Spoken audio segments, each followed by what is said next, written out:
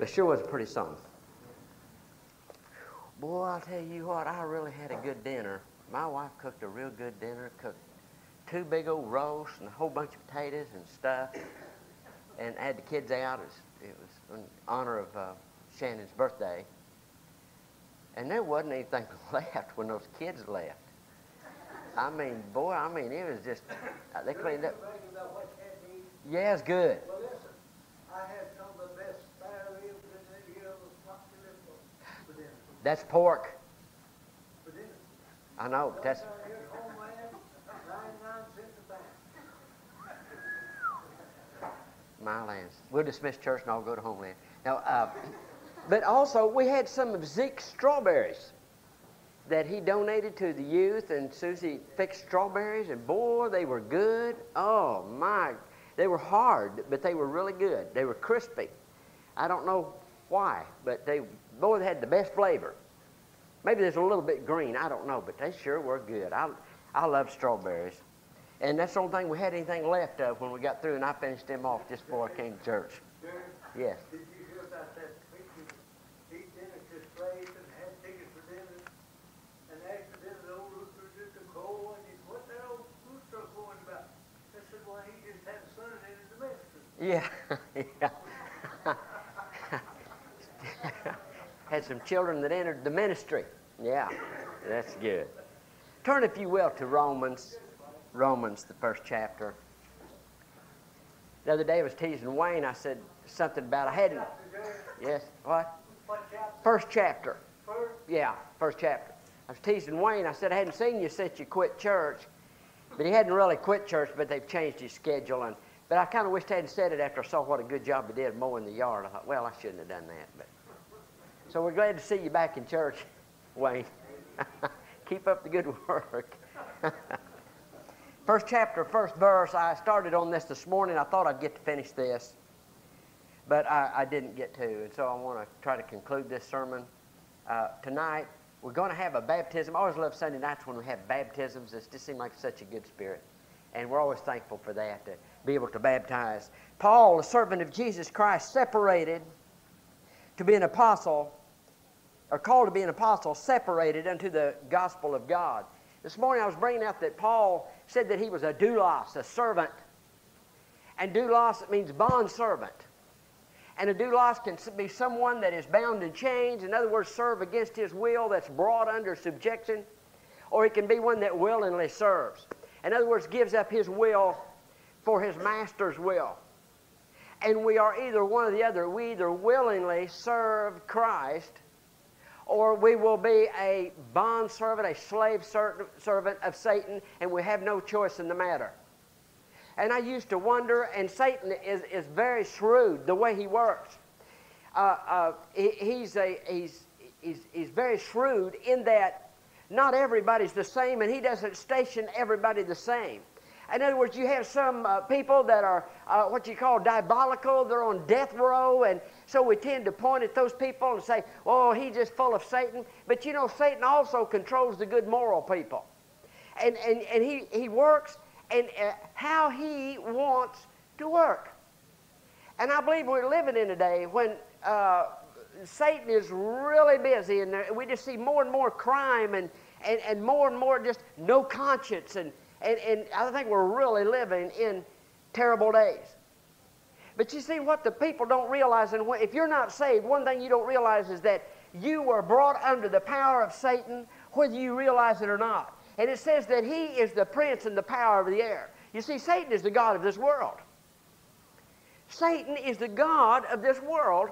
This world is not our home, we're just passing through, right? But he is the, the God of this world system. And it says that he takes us captive, or, or the, the people that aren't saved, at his will. We're no match for him whatsoever. The world, the, the, the, the, sinner is no match for him whatsoever. And in the Psalms, it says, Surely he shall deliver thee from the snare of the fowler. He, he is likened into a fowler. Now, the fowlers today use shotguns and bird dogs. They're people that hunt birds. But years ago, during that time period, the fowlers would use a circular net with a drawstring, and they would find a covey of, of birds on the ground, perhaps quail or pheasant or whatever, about roosting time, and they were very skilled at throwing that net over that covey and then drawing the string. And, and that little bird, those birds had no, uh, they, they just didn't have a chance. There's no way they could escape from the snare of the fowler. And I remember telling you that when I was a small child, my dad owned a store called 8th Street Grocery. I was about 12 years old. And right down the hill uh, from our store, there was an old man lived in a concrete block uh, house. It wasn't really a house, it had been a garage. And, and he was living in there, had a dirt floor. And I went down, I'd like to go by and visit with him.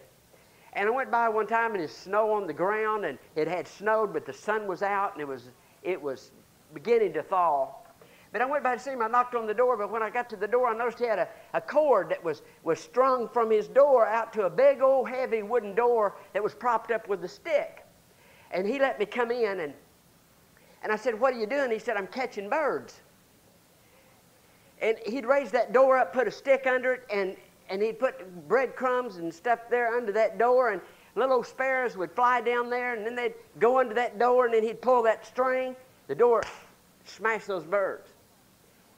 And, and I thought, why would he want to do that? I mean, kill a little, but he ate them. He ate sparrows, blue jays, anything that got under that door, that was supper. And he had a whole coffee can full of little birds, little, little uh, sparrows that, that he had picked them, and they're not about that big around time they're picked. But, but he would eat those things. And, uh, I, but you'd watch those birds, and it was, kind of, it was very interesting because I think, well, it looks like the birds in the, sea, in the trees could see what was happening to the birds on the ground. Because the door would slam, and the birds in the trees or those close by, they'd kind of flutter away a little bit, and then he'd go get the dead birds out from under the door, and he'd reset the trap, go back in the house. Pretty soon, the other little birds, they'd sit there a little while, and one of them would hop down there, and he'd hop over under that door, and then and he'd cheep, and then here comes some more, and pretty soon there'd be eight or nine little birds on that door, and then he'd spring the trap, trap again. And you think you would think that those birds could see what was happening. I thought how dumb those little birds are. But you know, humans same way. Satan traps the world. They they're captive at his will. Now it says in Jude, and here's something that's always been sad to me in, in, in speaking of the angels that kept not their first estate, in uh, Jude, the sixth verse says, And the angels which kept not their first estate, but left their own habitation, he hath reserved in everlasting chains under darkness unto the judgment of the great day. In other words, what he's saying is there is no hope for them. No hope whatsoever. But do you realize that if you're lost, if you don't know Christ, you also are just reserved for judgment. If, there's, if something doesn't happen, if you don't accept Christ as your Savior, you are just as lost and just as hell-bound as those angels that are in chains and darkness now, waiting their judgment day. Now, the angels are different than humans in that humans have a chance to be saved, but salvation was never provided for angels. The angels, I mean, the, the, the fallen angels, they believe and tremble. Satan believes and trembles, the Bible says. But see, salvation wasn't provided for him because angels cannot have a kinsman redeemer. Every they can't procreate. Uh, angels don't have offspring. Each angel was created individually. In order to have a salvation, you must have a kinsman redeemer. That's the reason God came in the likeness of flesh, took upon himself human flesh, son of Adam, so that he could be a kinsman redeemer, so that he could redeem the human race. But angels can never have a redeemer. Those angels that, that fell, they are reserved in chains and darkness, awaiting the judgment. But if you're not saved, you're just as bad off unless you get saved. Satan has got you in his trap. He's got you right where He wants you, and there is absolutely no way that you can recover yourself from the snare of the fowler unless Christ and the Holy Spirit does a work and sets you free. There's no way. There's no way that you have the power. There's nothing in your power that you can do. Now, notice the Apostle Paul says that he was called, there was a special appointment to be an apostle of Christ separated unto the gospel of God. He said, That's my job, is to preach the gospel. Now, I want you to notice something, and we will go ahead now and turn to uh, verse 16. Look at verse 16 of that same chapter. For I am not ashamed of the gospel of Christ. Why? For it is the power of God unto salvation to everyone that believeth, to the Jew first, and also to the Greek. Now, notice what he didn't say. He didn't say it is a power of God unto salvation. He said what? It is the power of God unto salvation. Meaning, there is no other way.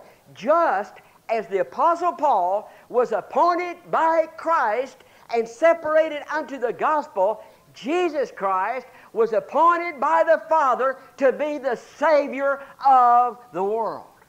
And there's no other way. And occasionally I will hear people, and uh, even uh, an author, I've been reading an author's books, and he says, Well, you know, the Indian have their own religion, and, and uh, the different countries have their own religions, and they're just as good as ours. In other words, leave them alone. Don't go in there and try to uh, preach to the Indians or to the Buddhist or all of them because the main thing is as long as you're sincere. How many's ever heard that before? It really doesn't matter what you believe, just as long as you're sincere. That's terrible. Paul says that he is not ashamed of the gospel because it is the power of God unto salvation. What is? The death, the burial, the resurrection is the power of God unto salvation. And there's not another way. Used to be a meat inspector come to, our, come to my store when I was under state inspection, and I began to witness to him. And I believe he went to, I don't, I don't remember whether it was Episcopal or, or Presbyterian. I don't remember where he went, but him and his wife and children were very faithful in attending, but it was evident that this man didn't know Christ as his Savior. Every other word out of his mouth was a cuss word. But I began to witness to him and witness to him, and I gave him gospel tracts, and he got saved.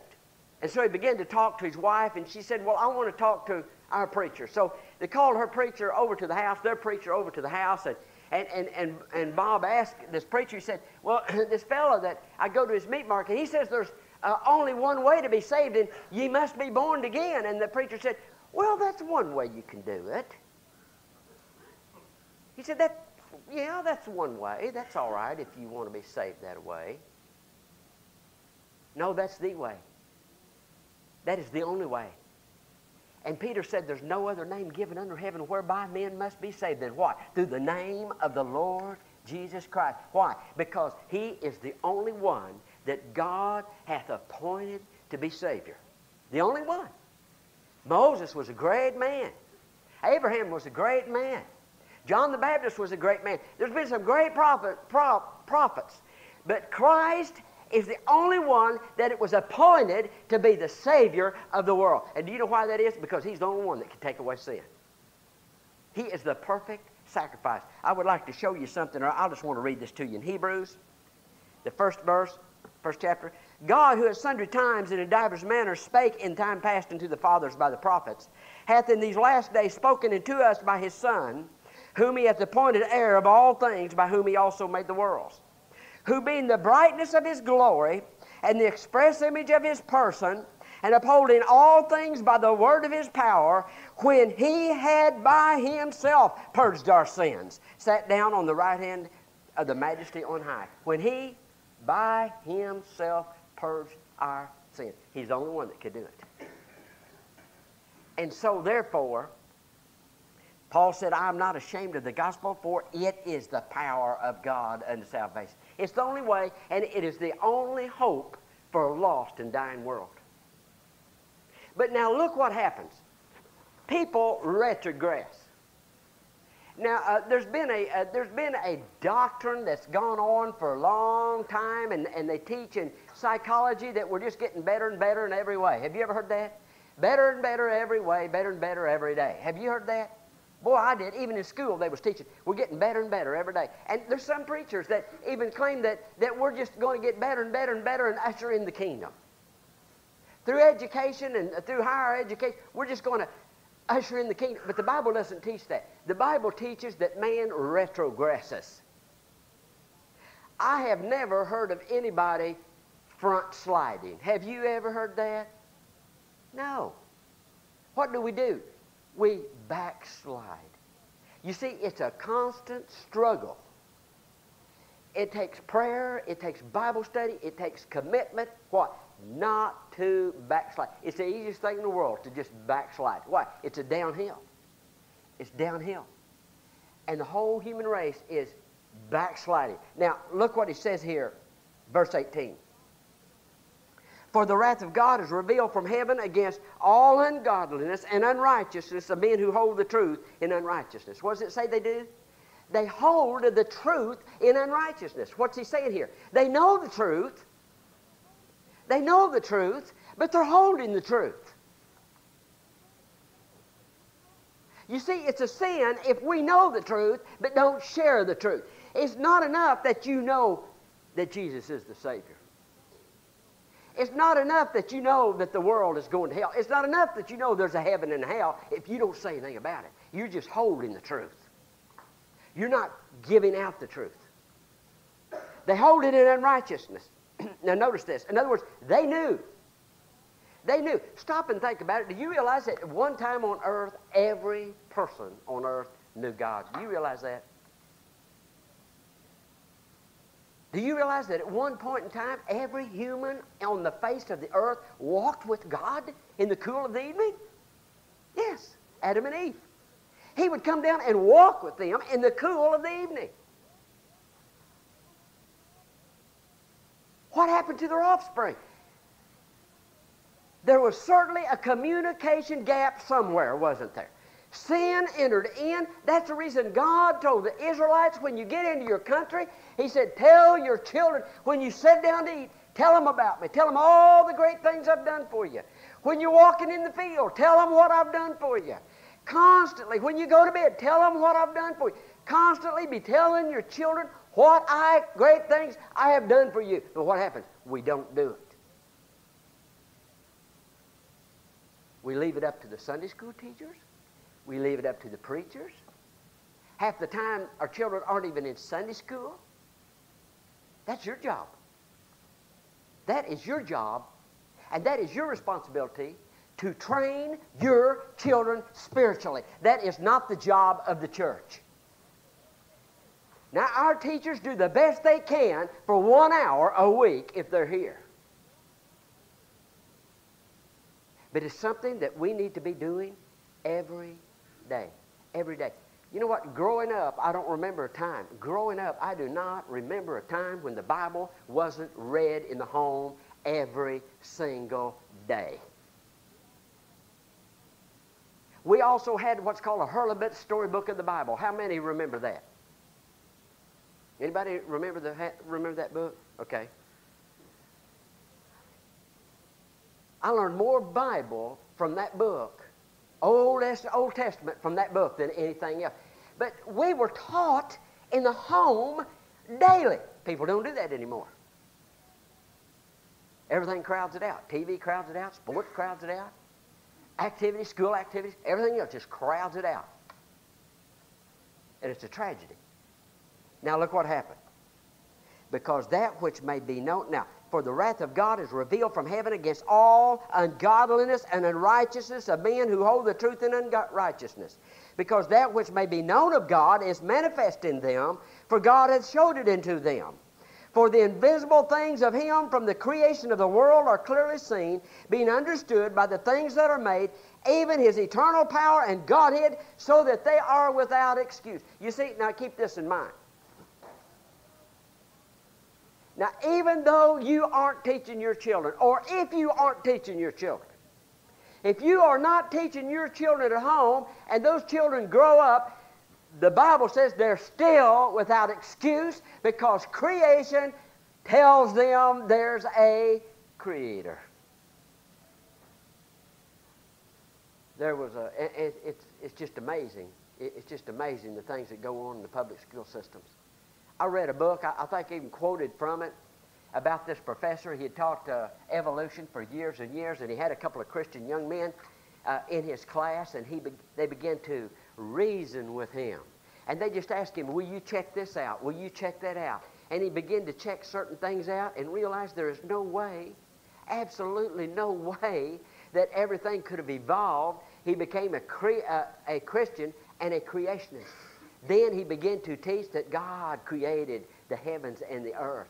And he brought out that, that, that when they first began uh, with the fossil theory, when they began to study fossils, the evolutionists thought this is going to prove evolution. And it proved just the opposite. And here's what he charged our educators with. He said, they absolutely know, without a shadow of a doubt, the theories that they're teaching in school are false. They don't work. They'll never work. But they leave them in the textbooks because they would rather teach those children a lie that they know is a lie than admit that there's a God that created. it. And he said they know it's a lie. They know it can't work that way. They have never found a missing link. Do you realize that? The greatest, bi- the greatest botanist or biologist in the world is from London, England, and he said not only is there not a missing link between man and animal, there's not a missing link between anything. There's never been a, ra- a record where a shrimp turned into anything else, one flower turned into another flower, a horse evolved into something. No missing links in any of the species. And so scientists, because look what happened. Once they do that, because that when they knew God, they glorified Him not as God, neither were thankful, but became vain in their imaginations. Their foolish heart was darkened. Professing themselves to be wise, they became fools. They became fools. They turned their back on the light and on the truth, rejected the truth in spite of all the evidence, and they became fools. So, you know what they're teaching now?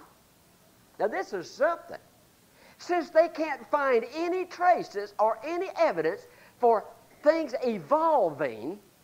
Now, when I was in high school, it's been a long time ago, in our science books, we had pictures of the prehistoric horse. Has anybody ever seen pictures of the prehistoric horse? Wayne probably does. I think he used to ride one to school. It's been a long time ago, hadn't it, Wayne? But anyway, they, they look kind of like a llama. They, you know, they don't really look like a horse, but this was a prehistoric horse. That was the missing link see, as it evolved into a horse known today. Well, what they do, how they do that, they begin to dig down in the earth, see. And the further they dig down, the further back in time they go, and they found the remains of the prehistoric horse. And so, oh, they were so excited. You, did you know that was their biggest argument was the prehistoric horse? They found the remains of the prehistoric horse. But you know what? They, they shouldn't, they, they should have put their shovels up right there. Because guess what they did? They kept digging and they dug down a few more layers. Guess what they found? The skeleton of a modern day horse. So then, rather than admit, wait a minute, this thing wasn't even a horse, it's an animal that's extinct. What do they do? They just don't say no more about it, and they keep printing it in the textbook and pass it on to our kids as a prehistoric horse. So what did they do next? Now, now, now they know that things, did, their evolution means slow change. Slow change. Now, my wife says that's, you know, I'm going through a process of evolution. I'm changing very slowly. She's working on me, but it's a slow process, you know. She still can't get me clean up around the chair, my coffee cups and magazines. So what they did next, since they, they can't find any missing links, in other words, they go back however many million years they want to go back, they claim, so many, 50 million or whatever. They keep digging down there, and snails are still snails. Cats are still cats. Dogs are, they, they don't find, see, they find a lot of, of extinct species, but, but they, they can't find where anything's changing. So now they call what they they've come out with now, and this is really brilliant. See, now this is the these now wait a minute, this is the guys with the doctor's degrees. All right, they're smart. If anybody knows, they know, right? Yes, yes. We all need to send our kids to college because they need higher education. So they come out with what's called rapid change theory. Now here's rapid change theory. A crocodile laid a bunch of eggs. For some unknown reason, one of them hatched out a bird. I mean, they don't know why, but one of them hatched out a bird, and so that's where your bird species came from. Well, the only problem with, see, now, now they'll just throw that out, but that's, they don't want to talk about it. They just say that's a rapid change. We don't know why, but it was always a crocodile until all of a sudden a bird hatched out of the crocodile egg. Well, now that's fine if you just shut up there and say, oh, okay, doctor. But what if somebody asked the question, if that thing hatched out a bird, what kept the rest of the crocodiles from eating it? Because it was a helpless little chick, right? Beep, beep, beep, beep, beep, beep. Question number two what did it mate with?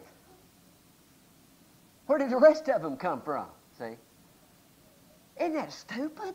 But they, see, they, listen, they're grabbing at straws. They're so desperate. They're so desperate because they don't want to say there's a creator God. They'll do anything than admit there's a creator that created the heavens and earth. The most far-fetched things in the world. Now, they, they was talking about, one of the scientists was talking about the chances, the odds of spontaneous life. In other words, here you got an oil slick or whatever you want to call it, and all of a sudden there was a streak of lightning or something happened or some chemicals got together, and all of a sudden there was a one cell amoeba. And then it divided, and it finally, over billions and trillions and quadrillions of years, why it finally evolved into something that could crawl up on the bank, and then it finally got rid of the tail and climbed up the tree and learned to fly. You know, okay, but spontaneous life, where life came from. They said the odds of that, he, he gave the number. Another man, commu- com, uh, another man uh, uh, computed that out, and he said, here's what that amounts to. He said, if you would take half a dollar, and if you would cover the state of Texas with half a dollar, 50 feet deep, you take one of those half a dollars and you take a magic marker and you mark an X on it, stir it all up, and then you give a blind man one chance to reach down in there, the size of Texas, 50 feet deep, and pull out that one half a dollar that had, a, had the mark on it. That's the odds of spontaneous life. But you know what this brilliant doctor said? He said, and I believe that's what happened, but I don't believe it could ever happen again. Golly, can you believe that? But yet they can't believe there's a creator God? That's just beyond their reasoning. Everything points to creator God. But see, men are going away from God, and you're probably thinking, what in the world has this got to do with your subject? I don't know. I just got off on that. because I get mad when I get to thinking about what people are doing. But I'll tell you this, I guess is why I wanted to bring all that out, and then I'll close. If you keep rejecting the light, that's where you're happy, that's where you're going. Do you know why? Because when you reject the light, your heart will be darkened. And you'll be darkened, and it'll be darkened, and be darkened. The Bible says this. It says, God gave them up God gave them up, and then it says God gave them over to a reprobate, that means a lawless mind, to do what they want to do. And believe what they want to believe. Listen, you hear the truth, and you reject the truth, and you reject the truth, the day is going to come when you can't accept the truth if you wanted to accept the truth. Because the only way you're ever going to accept the truth is through the power and the, the agency of the Holy Spirit that does a work on your heart. And if you keep rejecting the light, God will reject you. But the only hope the world has is the gospel. Because the gospel is the only thing that God has given this world to save this world. Paul said, For I am not ashamed of the gospel, for it, it is the power of God unto salvation. Listen, when you're talking to somebody about their soul, don't reason with them, give them the gospel. That's the power of God unto salvation. And you know what? You can preach all around it and nobody gets saved. And I've been, I've been visiting in people's homes before, and, and they want to get off on all kinds of subjects. Well, where did Cain get his wife? Have you ever heard anybody do that? They want to get off on, uh, what's that got to do with anything? Do you know the Lord Jesus Christ is your Savior? That is the only, that's where the power is. It's not all, where did God come from? They'll get off on all kinds of subjects, and I've seen people stand there and argue with them and talk with them for two hours about all, and what difference does it make? I was with a, a, a, preacher one time, and he was in a home, and this guy said, Well, preacher, I want to ask you a question. Do you really believe, he said, if a man has faith as a mustard seed he can move, uh, mother, uh, mustard seeds, he can move mountains, he said, what difference does it make? You don't even have enough faith to get saved, and here you're talking about enough faith to move mountains. See, they're just getting off the subject. They're just getting off the subject. But Paul said, I'm a bondservant of the Lord Jesus Christ, a willing, a willing bondservant. My will has been submissive to his will. And he called me a divine calling, an appointment as an apostle, and he's placed me in a box, so to speak. He's given me a specific job. And you know what that was? The apostle to the Gentiles. Aren't you glad God included the Gentiles? An apostle to the Gentiles. Oh, he loved to preach to the Jews, but his calling was an apostle to the Gentiles. And every one of us have a calling. But you know what? Uh, we have one thing in, in common. Do you know what we're all called to do? The same thing preach the gospel. That's what we're called to do. Why? Because that's the power of God unto salvation. Let's stand and let's sing. And Mary, would you like to come on back?